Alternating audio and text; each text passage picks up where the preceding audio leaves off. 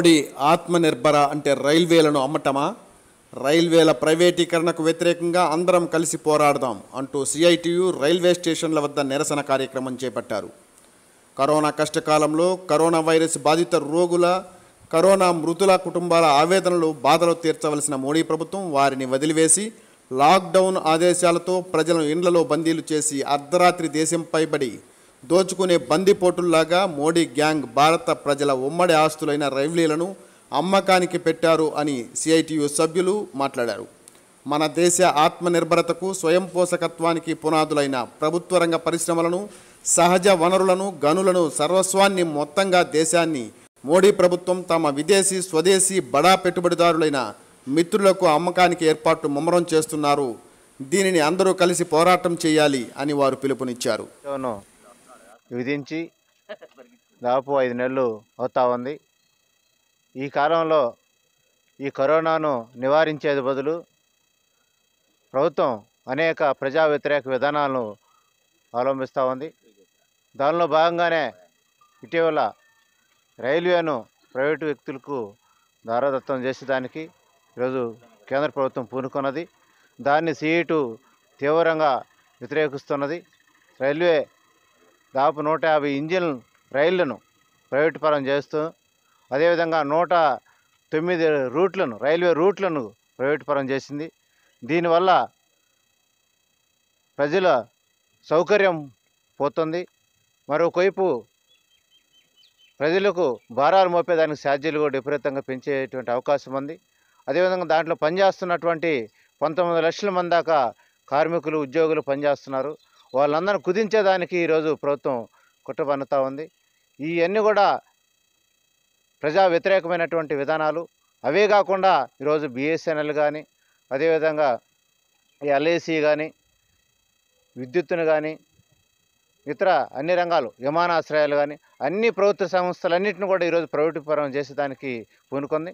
అది కేవలం కేంద్రం ఉన్నటువంటి బీజేపీ పెట్టుబడిదారులకు అదేవిధంగా పారిశ్రామికవేత్తలకు ఉపయోగపడుతుంది తప్ప కేంద్రం ఉన్న దేశవ్యాప్తంగా ఉన్నటువంటి నూట ముప్పై కోట్ల మందికి ఉపయోగపడేటువంటిది ఏ ఒక్కటి చేయలేదు.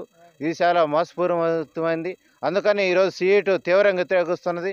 సిబ్బందిని తగ్గించకూడదని చెప్పి ప్రైవేటీకరణ చేయకూడదని చెప్పి ప్రైవేటు వ్యక్తులకు దారదత్తం చేయకూడదని చెప్పి మేము సీఈటుగా డిమాండ్ చేస్తూ ఈరోజు ఇక్కడ ధర్నా చేస్తున్నాం. కాబట్టి ప్రజలందరూ కూడా దీన్ని అనేక పోరాటాలతో నిర్మించుకున్నటువంటి రైల్వేను కోట్లాది రూపాయల ఆస్తి కలిగినటువంటి ఈ రైల్వేను ఈరోజు ప్రైవేటు వ్యక్తులకు దారాదత్తం చేయడం చాలా విచారకరము.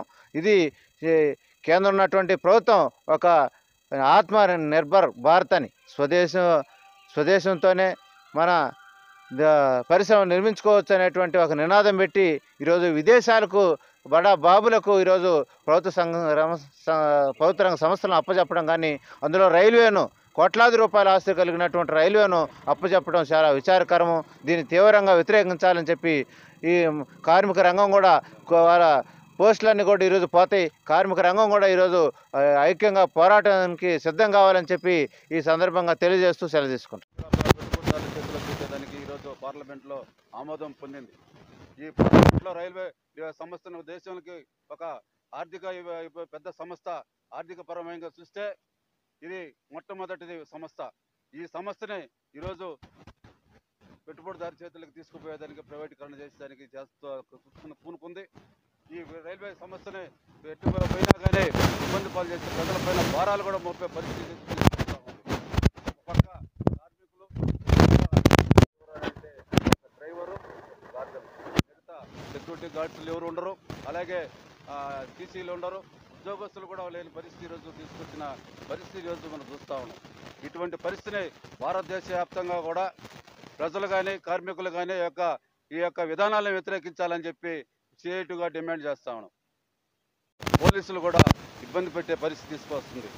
అందుకనే ఈరోజు ప్రభుత్వ సమస్యలు ఏదైతే ఉన్నాయో అవన్నీ కూడా పెట్టుబడిదారు చేతులకు పోవాలని చెప్పి తరలీకరణ విధానాన్ని కూడా ముందుకు తీసుకొచ్చి ఈరోజు వచ్చిన తర్వాత కార్మిక యొక్క చట్టాలన్నీ కూడా సవరించేదానికి పథకం పన్ని ఎప్పుడో సాధించుకున్న నూట యాభై ఏళ్ళ సంవత్సరాల కిందట ముందున్న సాధించుకున్న కార్మిక చట్టాలన్నీ కూడా ఈరోజు నూట కుదించి కార్మికుల్ని ఇబ్బంది పాలు చేసే పరిస్థితికి ఈరోజు బీజేపీ ప్రభుత్వం పూనుకుంది. దాని ఫలితంగా కార్మికులందరూ కూడా ఉద్యమాన్ని నిరూప ఉద్యమించే సందర్భంలో ఈ కరోనా లాక్డౌన్ స- సమయంలో లాక్డౌన్ లాక్డౌన్ విధించి ఈ సమయంలో note one forty four section పెట్టి కార్మికుల్ని ఎటు కదలనీయకుండా ఇళ్ళలో బంధించిన పరిస్థితి ఈరోజు దేశవ్యాప్తంగా మనం చూస్తూ ఉన్నాం. కార్మికుల యొక్క కష్ట నష్టాలన్నీ కూడా